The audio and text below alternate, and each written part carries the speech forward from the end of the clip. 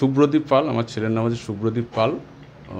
শুনেছি মানে আপনাদের মতন অনেকের মুখে শুনেছি যে ও সেকেন্ড করে হয়েছে ও মানে ওয়েস্ট বেঙ্গল জয়েন্টে এইটুকু না এটা হচ্ছে ইঞ্জিনিয়ারিং সেকেন্ড হয়েছে।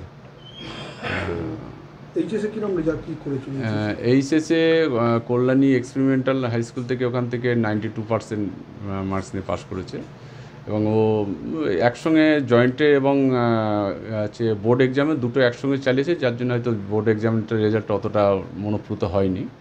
সে সারাদিন কতটা পড়াশোনা করছে সারাদিনেও বারো চোদ্দ ঘণ্টা নর্মালি পড়তেন। বারো চোদ্দ ঘণ্টা।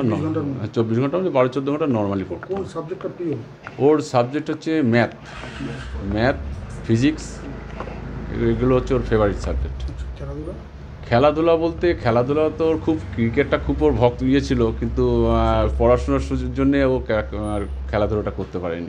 আমার হাজব্যান্ড তো সাবরি সূত্রে বিভিন্ন জায়গায় থাকে ছেলের পেছনে আমিই সবসময় থাকতাম এটাই। তো ওর পেছনে আমিই সবসময় আর কি নিজের ইচ্ছাতে পড়াশোনা করতো নিজের ইচ্ছে বলতে হ্যাঁ ও একটুখানি মানে খুব মানে কনসার্ন ছিল ওই পড়াশোনার ব্যাপারে।